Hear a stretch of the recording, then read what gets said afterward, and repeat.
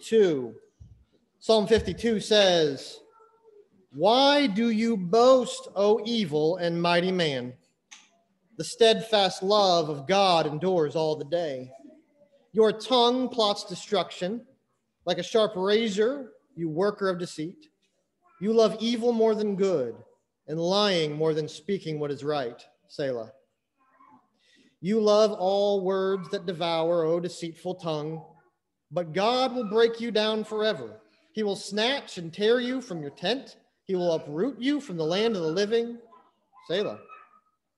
The righteous shall see and fear, and shall laugh at him, saying, See the man who would not make God his refuge, but trusted in the abundance of his riches, and sought refuge in his own destruction. But I am like a green olive tree in the house of God. I trust in the steadfast love of God forever and ever. I will thank you forever because you have done it. I will wait for your name, for it is good in the presence of the godly. Let us pray.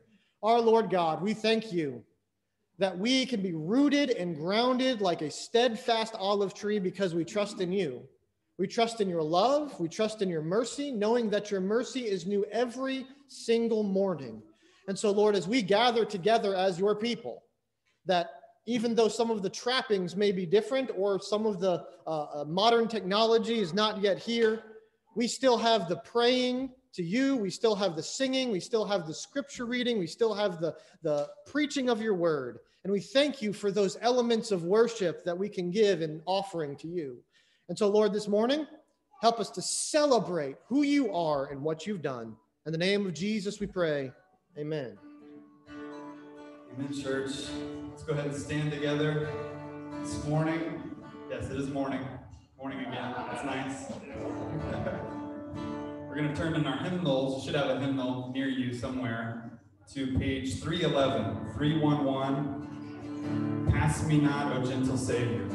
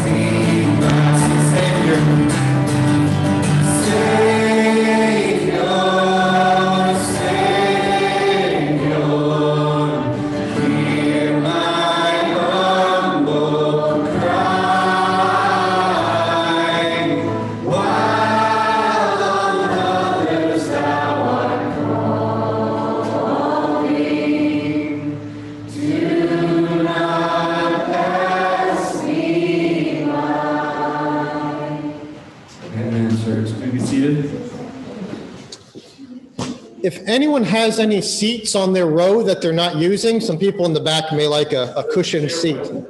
Oh, there's a chair behind the drums as well. So if anyone needs a seat and you have a spare one, just let us know. All right. Scripture reading today is Exodus 20. Uh, the Ten Commandments will come up in our sermon this morning, and so let us read these Ten Commandments to remember what the law of God was. Exodus chapter number 19, verse number 1. God spoke all these words, saying, I, Lord your God, brought you out of the land of Egypt, out of the house of slavery. You shall have no other gods before me. You shall not make for yourself a carved image or any likeness of anything that is in heaven above, or in the earth beneath, or that is in the water under the earth. You shall not bow down to them or serve them, for I, the Lord your God, am a jealous God, visiting the iniquity of the fathers on the children to the third and fourth generation of those that hate me, but showing steadfast love to thousands of those who love me and keep my commandments. You shall not take the name of the Lord your God in vain, for the Lord will not hold him guiltless who takes his name in vain. Remember the Sabbath day to keep it holy. Six days you shall labor and do all your work, but the seventh is a Sabbath to the Lord your God. On it you shall do not do any work, you or your son or your daughter or your male servant or your female servant or your livestock or your sojourner who is within your gates. For in six days the Lord made heaven, earth, the sea, and all that is in them, and rested on the seventh day. Therefore the Lord blessed the Sabbath day and made it holy. Honor your father and your mother that your days may be long in the land that the Lord your God is giving you. You shall not murder, you shall not commit adultery, you shall not steal, you shall not bear false witness against your neighbor.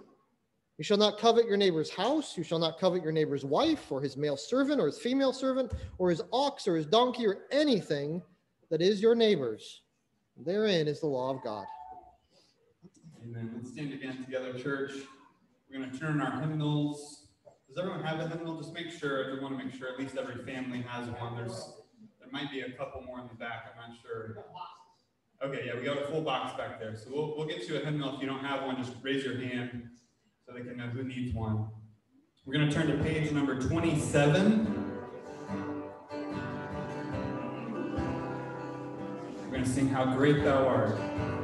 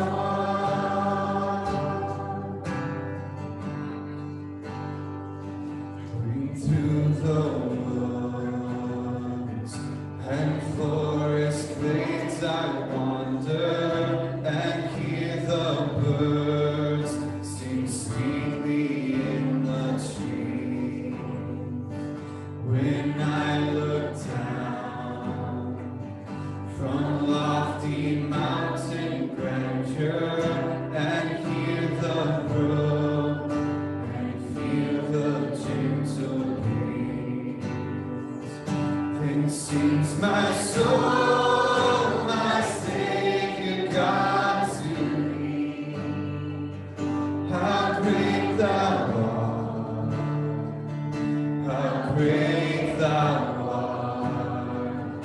Then sings my soul.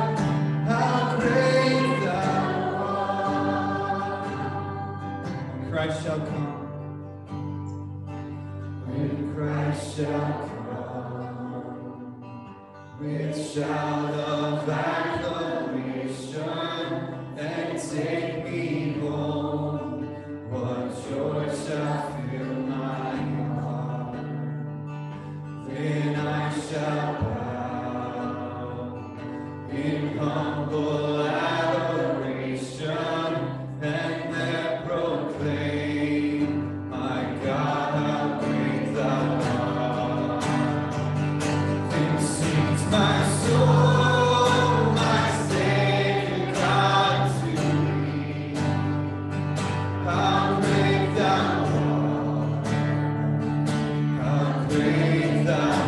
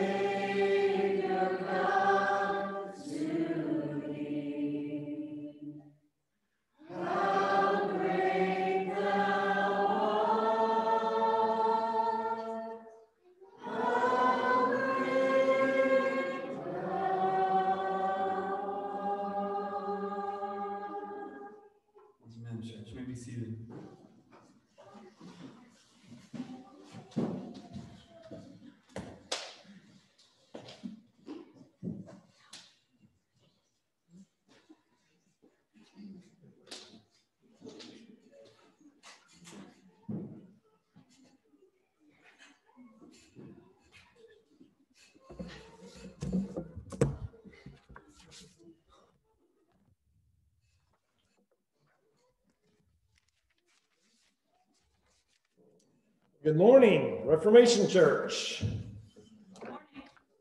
Good morning. Somebody's awake over there. Thank you, Corey. Well, that was some good singing this morning. I think the echo in here is just right. we might not want to change the carpet. Yeah, we'll take our chances. Well, welcome. We are glad that you are here with our second service in our new building that God has graciously provided. Take a moment just to look around. Okay, you guys can breathe easy. We're not renting here. We ha- this is our building for some time, and so until the Lord uh, decides otherwise. And so we want to praise God for that, being able to meet in our new facility. There's plenty of work still to be done, but praise God for what has been done, um, and uh, the ministry that He is already preparing for each one of you to do here to reach our community and to uh, minister to one another. So praise God for that. We're going to open up in a word of prayer. Then we are going to turn to our text in the Gospel of Luke in chapter 6. So let's go to the Lord in prayer. Father God, as we gather together in this assembly of your people, it is a solemn time. For whenever your people gather together to worship, it is not about us, it's about you. And so, God, this morning I pray that you would help us to focus our minds upon you, to think about your glories your riches, your mercies, all of which you have extended and granted to us graciously, not because we deserve them, but because of your goodness, your kindness, your compassion for your people, your love for us, which you demonstrated so greatly by giving your Son, Jesus Christ, to die on the cross, atoning for our sins imputing us with his righteousness, so that we may enter into your presence, blameless, spotless, and pure. Father, we thank you for your sanctifying work that you're doing in us each and every day, slowly conforming us to the image of your Son. Father, we thank you that you've given us the gift of your Holy Spirit to convict us when we sin, to encourage us to give us understanding into your word. Father, we pray this morning that you would continue to do just that. Help us to understand and apply your word to our lives, that it might sanctify us. For the scripture says, Your word is truth. We thank you for the truth this morning as we will find it in Luke. In Jesus' name we pray. Amen. Well, turn with me to our text in the Gospel of Luke, chapter 6.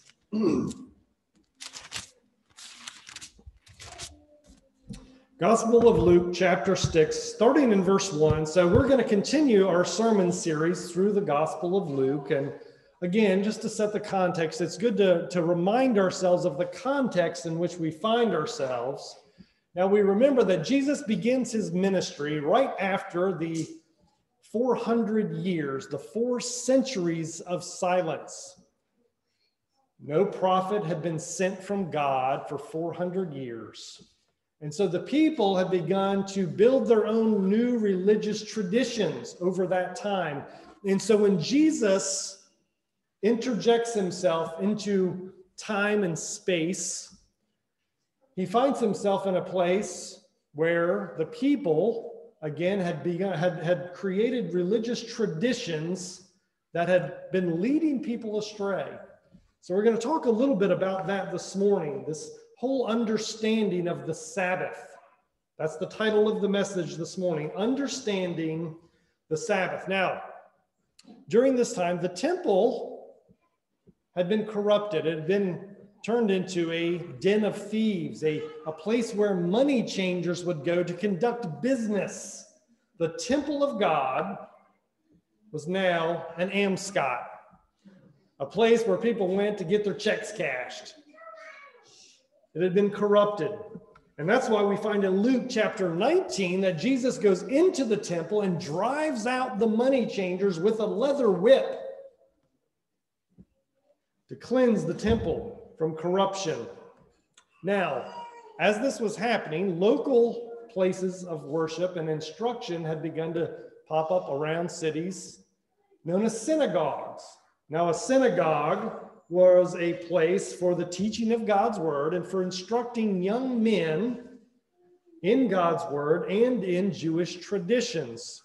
So there was the temple, which was corrupt, and then there were synagogues spread out through all the communities throughout Galilee and the whole nation of Israel. Now, the synagogues were led by rabbis. Rabbis were the teachers.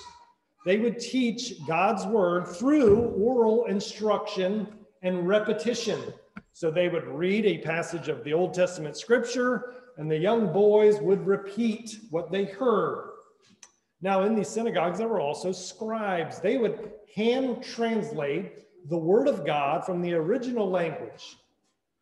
And then there were also there were Pharisees. Pharisees were known as experts in the law.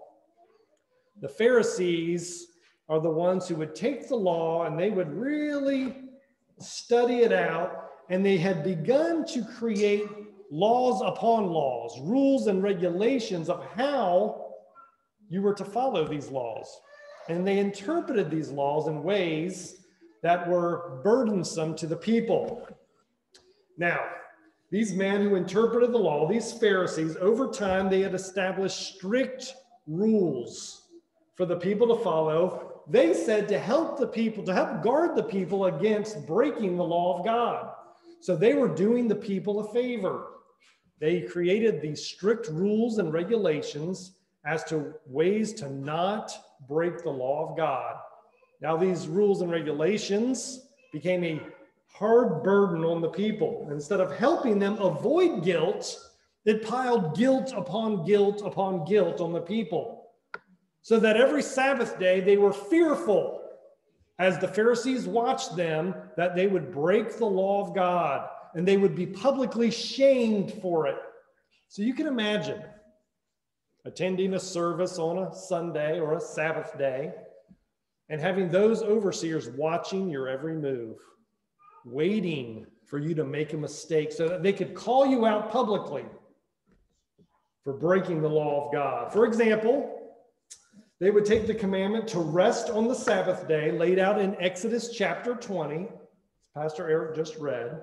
As part of their interpretation, they would create an extensive list of things that they considered work rather than rest. I'm just going to give you a very brief section of their rules that, they, that had to be followed. These activities were prohibited on the Sabbath day. Carrying anything heavier than a cup was considered work. Burning, extinguishing, untying, plowing, writing, erasing, cooking, washing, sewing, tearing, knotting, untying, plowing, planting, reaping, harvesting, threshing, sifting, grinding, kneading, combing, spinning, weaving, building, trapping, shearing, skinning, and on and on the list went. 25 pages just like that. Imagine trying to navigate your, your, your way through a day without doing these things. And so the burden became heavy. So, is this what God intended for the Sabbath day of rest?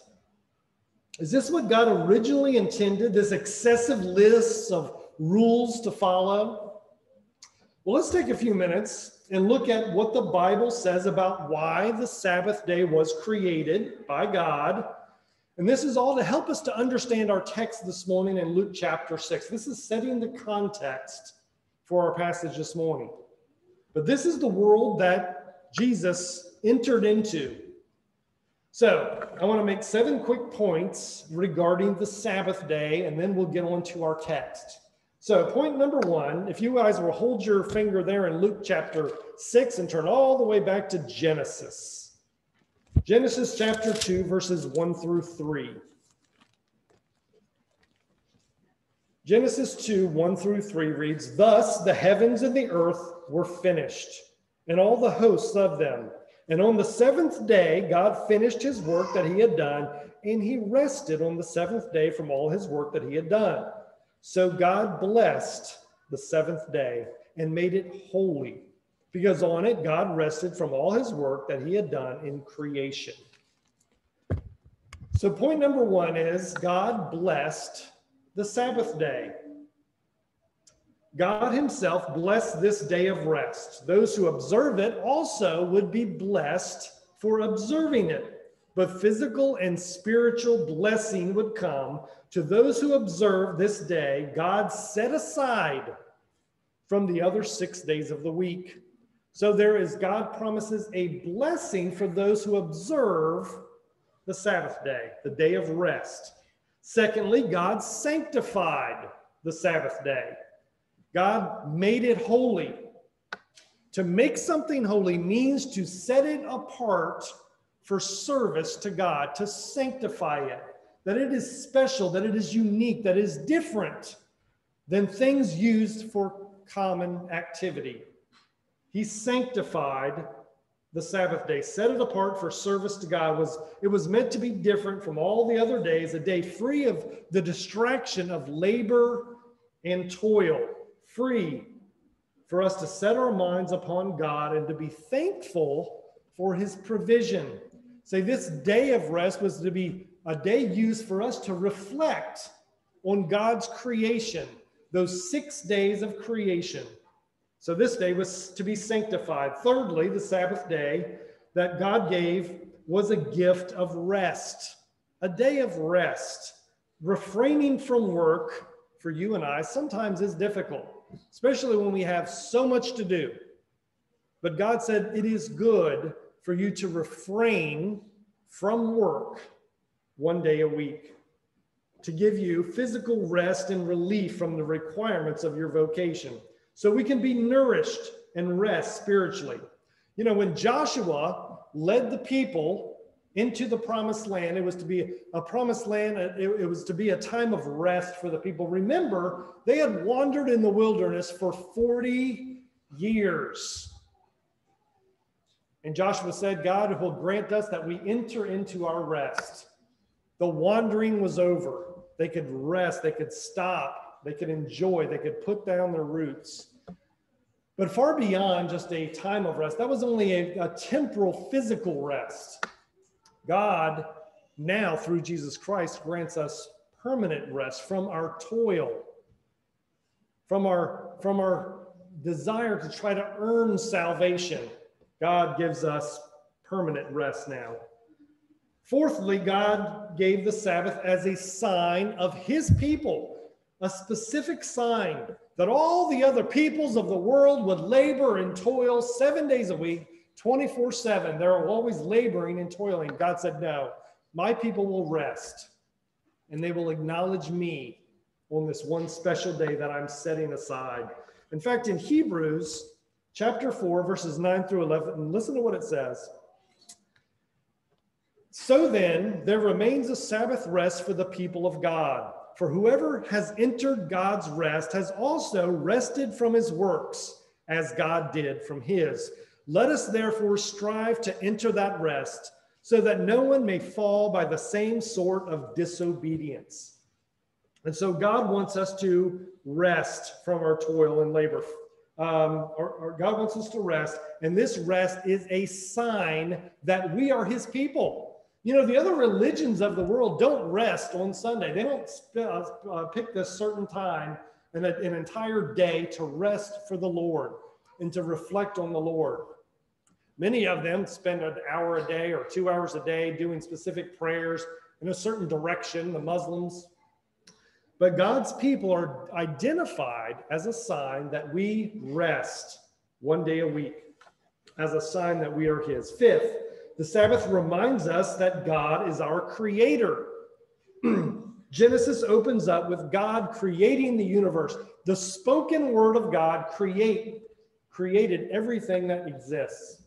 All physical matter, God created with the spoken word, and everything in the universe was made by him.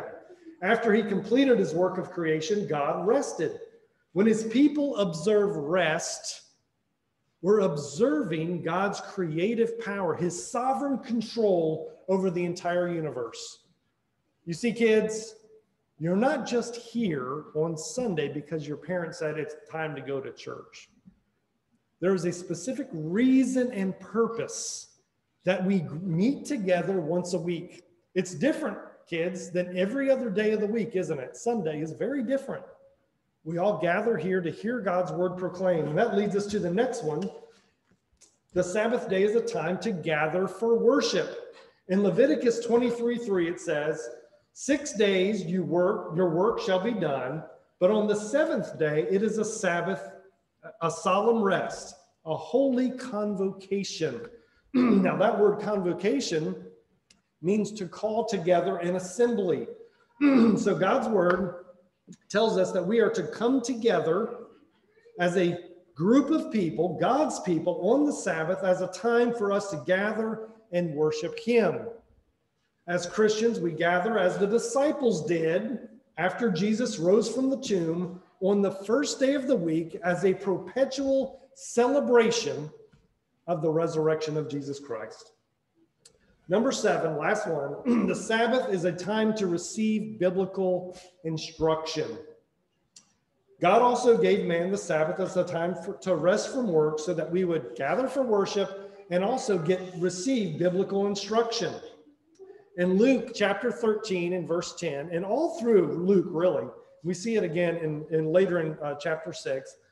G, we find Jesus on the Sabbath in a synagogue teaching the word of God. So the Sabbath is to be set aside for our biblical instruction so that we learn God's word. You see, church, the Jewish Sabbath was a type, it was a foreshadow of the permanent rest that would come in Christ.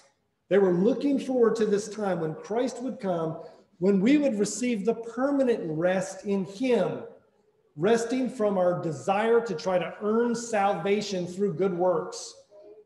when Christ came and died on the cross, his atoning sacrifice gave us that rest so that when we enter into him, any toil and, and, and labor is over. For Christians today, the Sabbath observance involves being blessed by God, setting a day apart for sanctification and rest, a sign to the world that we are God's people, that He is our creator, and on the Sabbath we worship Him and we are instructed by His word. so now, with that in mind, that context in mind, let's now look at our text here in Luke chapter 6. Luke chapter 6, starting in verse 1. On a Sabbath, while he was going through the grain fields, his disciples plucked and ate some heads of grain, rubbing them in their hands. But some of the Pharisees said, Why are you doing this? What is not lawful to do on the Sabbath? And Jesus answered them, Have you not read what David did when he was hungry? He and those who were with him, how he entered the house of God and took the ate and ate the bread of presence, which was not lawful for any of the, any but the priest to eat, and also gave it to those with him. And he said to them, The Son is the the Son of Man is Lord of the Sabbath. On another Sabbath, he entered entered the synagogue and was teaching. A man was teaching. A man was there whose right hand was withered, and the scribes and the Pharisees watched him to see whether he would heal on the Sabbath, so that they might find a reason to accuse him. But he knew their thoughts, and he said to the man with the withered hand, Come here, come and stand here. And he rose and stood there. And Jesus said to them, I ask you, is it lawful on the Sabbath to do good or to do harm, to save life or to destroy it? And after looking around at them, they all said to him, He said to them, Stretch out your hand. And he did so, and his hand was restored. But they were filled with fury and discussed with one another what they might do to Jesus. It is still early in Jesus' ministry. He's been baptized, he's been tempted by the devil, he's begun to teach and to heal people in each town as he traveled. And as the word spread of his teaching and of his healing, crowds began to follow him. And so, as those uh, crowds followed him from city to city, and as they traveled, Jesus found, finds himself just cutting through a grain field. Now, as him and his disciples who were with him are walking through the grain field, also in that crowd are some of the Pharisees, the keepers of the law. They considered themselves the people who were to keep the law, to watch the people, to make sure they did not disobey or break any of the law. So they followed and observed not to hear the teachings of Jesus, not to see the miraculous healing of Jesus, but to keep watch, to wait for him to slip up, to make a mistake, to break one of their rules. now, their favorite rules revolved around the Sabbath day because that was the longest, most extensive set of rules that they had.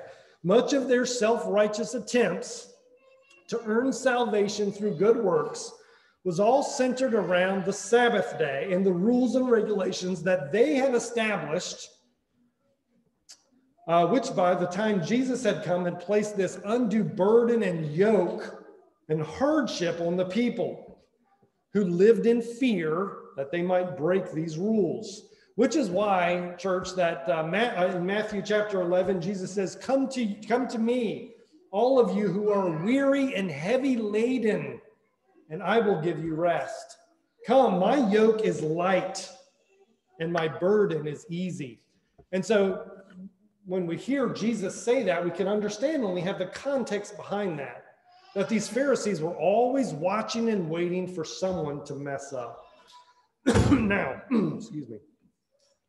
On this particular Sabbath day, Jesus and his disciples were passing, passing through some fields of this ripened grain probably in the late spring or early summer when the grain started to ripen.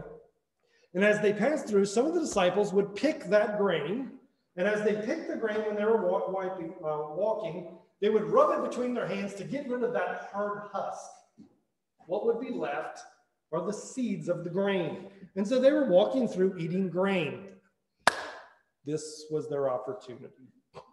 The, the Pharisees saw that and immediately they used this as an opportunity to catch them breaking the Sabbath. so they said, Why are you, you doing what is not lawful on the Sabbath?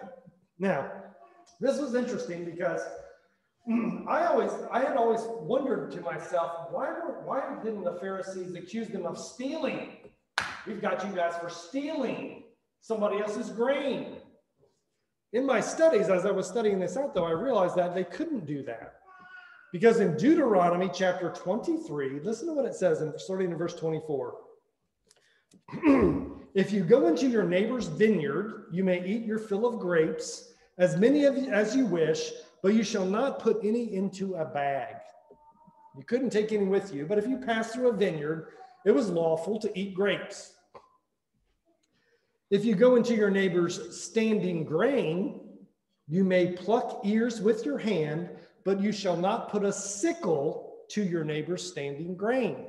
So it was perfectly lawful to do what the disciples were doing. However, the Pharisees said, no, wait a minute. They might get away with that, but they're not going to get away with our rules and regulations against harvesting. That's where we'll get them. We'll get them on the rules of harvesting. So that's what they were doing. They were trying to accuse them for harvesting on the Sabbath day. Now, Jesus, hearing the accusation against his disciples, didn't attempt to debate all of their endless rules, right? What he did is give them a biblical example of exactly what they were doing. And he did it using King David, a man after God's own heart a man, a patriarch of the faith, a man that they could not bring accusations against. So, what J- Jesus says here is Have you not read what David did when he was hungry? He and those who were with him, how he entered the house of God and took and ate the bread of the presence, which was not lawful for any but the priest to eat. And he also gave to those who were with him. The circumstance that Jesus refer- is referring to here is in 1 Samuel chapter 21. David and his men had been fleeing from Saul. As we know, Saul constantly pursued David to kill him. And so David was always on the run, he and his men. And so when David entered a town called Nob, immediately David, his, him and his men were famished. They were tired from the constant running. They hadn't even had time to stop and eat. So when they entered the city of Nob, David immediately went to the tabernacle to find help. He went to the priest and told the priest the situation. And so the priest, uh, Ahimelech, told uh, him that only the, the bread, uh, the only bread that they had was the bread of the presence. And so that bread was bread, a sacrifice that they offered to God daily. As new bread was made, the priests were the only ones who were allowed to eat the old bread when it was replaced by the new bread. But the priest asked David if he was clean before God, and David said, Yes, my men and I are clean before God. And the priest, out of compassion, gave David and his men five loaves of bread to eat. So Jesus brings this example up to the Pharisees. It did not humble them, it just infuriated them all the more. And so, um, the point that Jesus was making is that having compassion on human needs is far more important to God than ritual and ceremony. Religious practice God abhors. What God wants is loving kindness, compassion, and mercy. In Hosea 6 6, in fact, the, the word of God says, For I, God, desire steadfast love over sacrifice and the knowledge of God more than burnt offerings. God is, God is saying, I desire loving kindness and compassion and steadfast love over any sacrifice that you can bring to me over, over any offering that you can bring. I desire that you, having knowledge of me, that's more important to me that you intimately know me rather than bring me some sacrifice and walk out the door. See, church, that's what every other religion does. They bring their false gods, sacrifices, offerings. They pray a certain hour of every day on a carpet that faces a certain way. They go through religious ceremony. they might even wear religious garb, robes, or whatever it is. They might wear some kind of religious trappings. God says, I despise those things. I would much rather have your heart. I would much rather you love me and serve me and love others and show others compassion rather than just go through some religious ceremony. And, church, all of us can fall into that trap. We can come here on Sunday morning and just go through the motions. God says, I don't care about that. What I care about is your heart. Where is your heart? Where is the love that you are to have for me?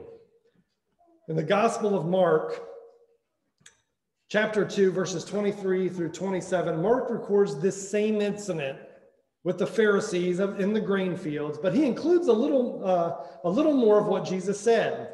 Jesus goes on to say this, that the Sabbath day was made for man, not man for the Sabbath day. See, this day of rest, this day that we talked about earlier in the message, all of these things that God's given us, this day of, of, of rest, this day of that we are to, to, to focus upon Him, this day that, uh, that we are to gather together for worship and receive biblical instruction.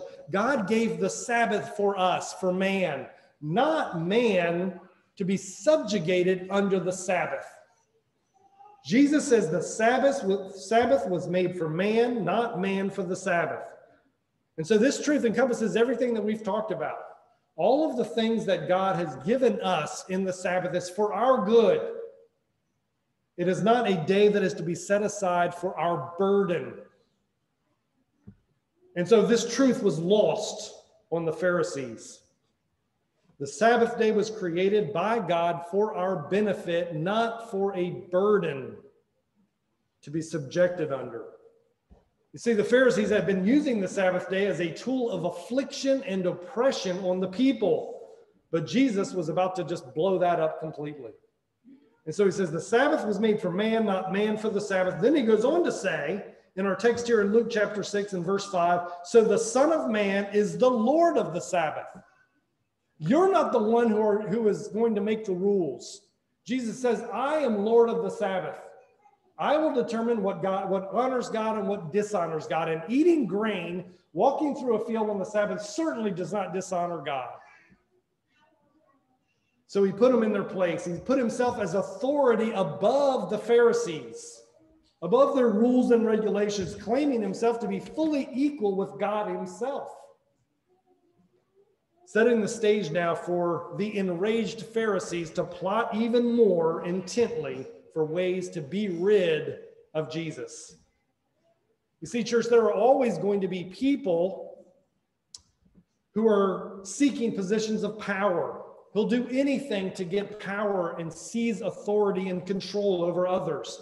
They'll stand against anyone who tries to get in their way. They'll criticize them, they'll scrutinize them. They'll always watch and wait to try to trap them and pressure them and attack them in the most dishonest ways you can imagine. They'll want to, they'll do anything to get their grasp on power and authority. This became the Pharisees' life. When Jesus came on the scene, their life turned towards getting rid of this one who threatened their power and authority. We see here on, in chapter 6 or chapter 6 verses 6 through 11 now on another Sabbath day Jesus entered a synagogue as was his practice to teach God's word on the Sabbath to those in attendance and in the crowd that was there there was a man who had a hand that was withered he was disabled he was unable to use his right hand. So Jesus called, called him up in front of the entire crowd. And the Pharisees once again began to think to themselves, is he going to heal on the Sabbath day? Now, wait a minute, let's look back in our rule book. No one's allowed to heal on the Sabbath day. And so they sat and waited again to catch him. Are we going to be able to catch him healing on the Sabbath? Now, knowing know the heart of somebody who is not interested in the healing of the man. They have no interest in this man being healed miraculously by the hand of God. That doesn't interest them. All they were doing is looking through their rule books, trying to find some way to trap Jesus. They had no compassion on the man, showed no mercy to him whatsoever. So, Jesus, notice their motive for being there. Again, they weren't even there to hear Jesus. Now, you guys, we all realize that Jesus, the Son of God, when he taught, everything that he said was perfect. When Pastor Eric and I get up here, we are flawed. We're going to say some things that are wrong. We're going to get some things, misinterpret some things sometimes. It's going to happen. But when Jesus taught, that never happened. He perfectly interpreted the Old Testament scriptures before them. It was the perfect teacher speaking the perfect truth. And what did the Pharisees do? They weren't there to hear that. They were only there to trap him. They didn't want to hear the truth. They watched and they waited to see if they could catch him. They had already seen Jesus, by the way, perform miracles. If you look back, flip back to Luke chapter 4, Jesus cast out a demon from somebody so he had miraculously cast out a man who was being tormented for years by a demon. In Luke chapter 5, they also saw with their own eyes Jesus heal many. It said, Many came with illness and disease, and Jesus healed them all. So they had, they had witnessed the miracle of a divine healing right before their eyes. Also in Luke chapter 5, there was a man who was paralyzed from birth. He healed a man that was paralyzed. Remember, they let him down through the through the ceiling. That didn't impress him. All they were looking for is something to catch him with, some way to entrap him. And so none of the none of that drew their attention. They were only there for one reason. Would he heal on the Sabbath? Because that was considered work. So they watched and waited. Now, church, it's easy for us to be critical and grow even angry with the attitude of these Pharisees, isn't it? It's easy for us to do when we when we read what they were doing. It's easy for us to get angry, but for church, it's even easier for us to become like them, to become like the Pharisees. You and I are always in danger of becoming Pharisees. That's a real danger. We look at the lost and we judge them for their lifestyle, for their habits, for their addictions, for their sinful lifestyle. We look at people that that are, uh, and we sit back and we watch and we wait for them to make a mistake. We have all fallen into that. Look at those people. Look at how wicked they are. Look at the things that they do. But God wants us to show mercy. God wants us to show compassion. God wants us to have love and give them hope through the gospel. The lost don't need our condemnation. They've got plenty of that. They need our what they need is to be reconciled to God. God wants to be reconciled to them. They need to repent and believe the gospel.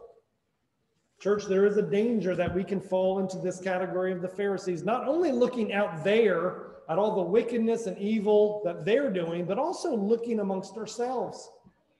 We can also find ourselves in our self righteousness looking inward toward one another, pointing the finger. Did you hear so and so watch that movie? Or they listened to that song, that music? They hung out with that group of people. Church, it's easy for us to become Pharisees. We've got to guard ourselves against this. This is not honoring to God. We can cause division and be hurtful to fellow believers if we're always looking for faults. But Jesus says God prefers that we show mercy. God prefers that we show compassion and love to one another. There are times for rebuke and correction, absolutely. If a fellow brother and sister is in sin, we lovingly, with a desire of reconciliation, we go to them and point out their fault. But we're not always looking for it. That's the difference. The Pharisees were always watching and waiting, looking for it. Jesus knew their thoughts, how they're seeking a way to bring an accusation against him. Think about that. Jesus can discern your thoughts. These Pharisees evidently didn't even speak it out loud. They didn't even say to one another, hey, is he going to heal? Let's check it out. Let's find the rule that he's going to break. They were only thinking it in their minds. And Jesus says he discerned their thoughts. He knew that they were looking to make an accusation against him, but they hadn't even spoken a word. He knows your thoughts too. He knows my thoughts too. And, church, Sometimes the sins, the external stuff, especially as we grow and mature as a believer over year and decade after decade, those big external sins, they're not the ones that we fight with, are they? Those are the ones that we wrestle with. We wrestle with those internal thoughts, those internal sins that nobody else knows about. Jesus knows. He knows our thoughts. Then Jesus asked the scribes and Pharisees a direct question that would, in essence, really entrap them. Listen to what he says here. He says, I ask you, is it lawful on the Sabbath to do good or to do harm, to save life or to destroy it? The Pharisees knew if they answered that it is lawful to do good on the Sabbath, then they were giving him a green light to heal this man who was now standing right there before the entire crowd. Is it lawful to do good or to do harm, to save a life or to destroy it. Now, they also knew that if they were saying, no, it's not lawful to do good, that again, they were entrapped. It, it kind of exposed their merciless heart. And so they remained silent. And Jesus healed the man right in front of them. He had now full use of his hand, it was restored to full health right in front of their eyes. They could not deny what they saw, and everybody else in the room saw it as well. But instead of rejoicing, instead of praising God for a man whose hand was now healed, he would have full function and use of his hand. He could now provide for his family. Instead, the scripture says in verse 11, and they were filled with fury not just anger. The scripture says he, they were filled with fury. They were that much more enraged that Jesus had the gall to heal this man on the Sabbath day. And it says that they were filled with fury and discussed with one another what they might do to him. How are we going to get this guy? He is he is a threat to our power. He's a threat to our authority. Church, the scripture says that God rejects ritual and ceremony, even worship that is void of love and compassion and mercy for others. The Sabbath, above all days, was a day set aside to show kindness to those in need as an example of God's kindness, to show mercy to those who needed mercy, who were guilt, felt ridden with guilt, because God has shown us mercy. It was a time to show love to the unlovable as God Himself showed love to us, the unlovable. It gives us a chance to relieve suffering of others, just as D- Jesus did for this disabled man on the Sabbath. So, in closing, a practical way that we can show love and compassion and mercy on the Sabbath day, as we're here in this new building, we've got a lot of work to do still. But one of the very simple ministries that we can uh, participate in each Sunday when we come is out there by the road. There's a little box. It looks like a giant mailbox. And it says on there, basically, this is a you know free food for anybody who needs it. So, and Pastor Eric and I have witnessed as we've been here evening after evening throughout the last couple weeks, and have we've seen cars pull up almost daily to that box, and they found it empty most of the time. The church that was here was using that as a ministry to the community, and so it's become something that some people have depend, become to depend on for their weekly sustenance. And so we, as we come to church, can bring a couple cans from the house, right? We can bring a box, a box of macaroni and cheese and a couple canned goods and put in that box every week to show the community that, yeah, we're, we at Reformation Church, we want to be, we want to continue that ministry to help them. We want to show compassion. We want to show mercy and love. And so that's one way that we can practically do something as we're trying to get ourselves oriented and situated here in this new uh, community, this new building. Um, this is a way that we can express Sabbath love for the community. All right, so let's try to keep that in mind next week when we come. Just bring a couple canned goods. That box will hold quite a bit of food. So I think uh, if we each bring a couple cans, that would be a great ministry that we could do to provide to the community. All right, let's pray and uh, close out our service. Father in heaven, as we've learned that the Sabbath day is just not a ritual. We don't just come and worship together on Sunday because our parents told us to, or because it's something that our, you know, we've always done. But Lord, it's a significant thing. It's a sign that we are your people. It's a time to gather for worship. It's a time to receive biblical instruction. It's a time that we can receive rest from our physical work it's a gift to us, not as a burden, but as a benefit. So, Father, we thank you for this day that you've set aside, that we observe and we recognize that you, after creating the universe, took time to rest. Not that you needed rest, but as an example to us that we need rest and we need to rest in you. Father, we thank you for your word and we thank you for the gift of the Sabbath day. We pray all this in Jesus' name. Amen. Well, amen, church. Um, Pastor Eric is going to come and he's going to lead us in taking of the Lord's Supper. And then we will uh, uh, take up our offering and sing our closing hymn.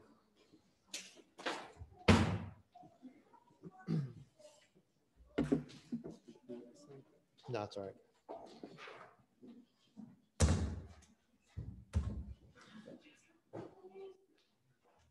At this time, uh, Deacon Mike will be able to distribute the elements for you. Remember the words of the Lord in the institution of the Lord's Supper. In Mark 14, it says, And as they were eating, he took bread, and after blessing it, broke it, and gave it to them, and said, Take, this is my body. And he took a cup. When he had given thanks, he gave it to them, and they all drank of it. And he said to them, This is my blood of the covenant, which is poured out for many Truly I say to you, I'll not drink again of the fruit of the vine until that day I drink it new with you in the kingdom of God. And so, as we remember this death, burial, and resurrection of Jesus Christ, we proclaim the Lord's death until he comes. We look forward to that future Sabbath that we are awaiting, where we can have the eternal rest with God. And so sometimes we can look at the Lord's Supper and think, well, I need to examine myself and be introspective. And yes, that's true. But it's also a celebration of what we are longing for, for Jesus to return. And so, uh, Deacon Mike, go ahead and pass the elements. uh, Cameron, if you want to play something. And in just a moment, we will take the Lord's Supper together.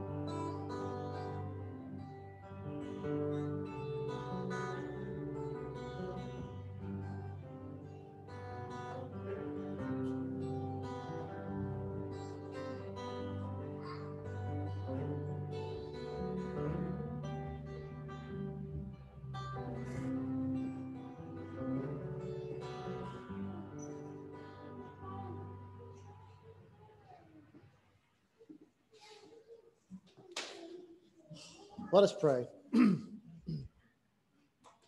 our Lord and our God, we thank you that we can remember and commemorate your sacrifice for us, that in your very body you took on our sin and paid the punishment that we deserved, and that three days later you rose again.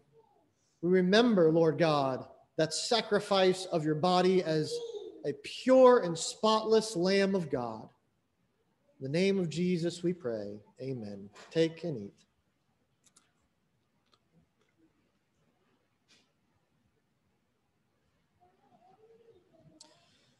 And Lord God, we thank you for your blood, your perfect, pure, sinless blood that flowed from your veins, inaugurating for us a new covenant, setting aside the corruption that had occurred over generations of man's traditions.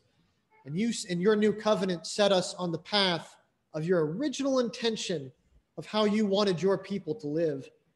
And so, Lord, in this new freedom that we have in the new covenant, let us walk in you. Let us show your mercy. Let us show your love. And let us show your grace as we await your return. In Jesus' name we pray. Amen. Let us drink.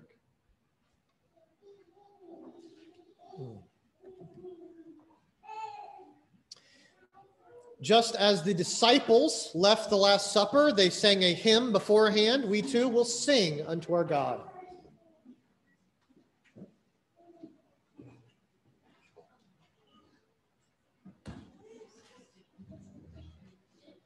All right, let's stand together again morning, church. One more time, we're going to sing hymn number 259. 259. Turn there in your hymnals. Sing this with us. There is a fountain.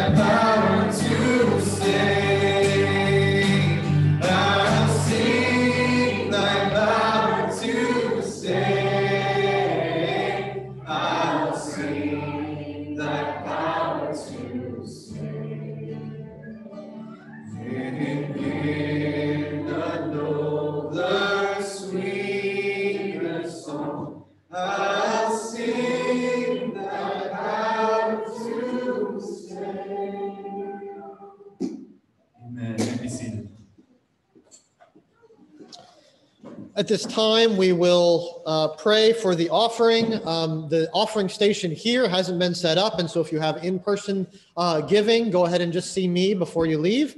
Uh, Or you can also go online to reformationchurch.online, click on the Give button, and give your tithes and offerings in that way. Let us pray. Lord God, we thank you that you have given us the blessing of this building, Lord, but more than that, you've given us the blessing of your word. You've given us the blessing of the new covenant, and that from this place, as a, a headquarters, as an embassy to our community, we can spread for you a new reformation. Lord, we pray that the funds and the money that we receive will be given to your kingdom service to advance and expand your kingdom, that we may see new souls saved for you.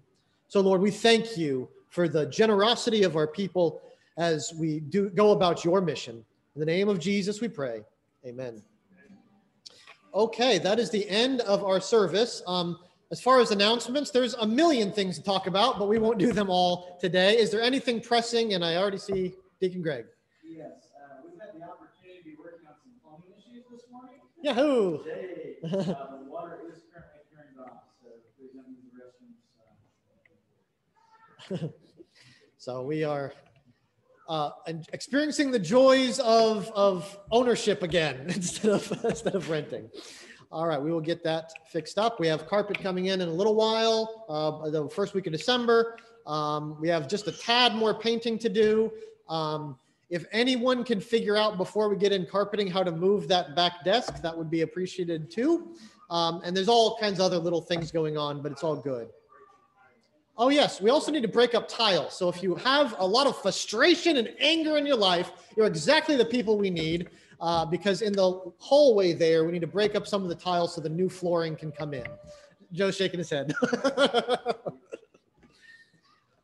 yes. I just want to thank everybody for praying for my friend and her family. Um, Miss Shirley did pass away on Tuesday, and, um, I just want to thank you all for praying us. Absolutely.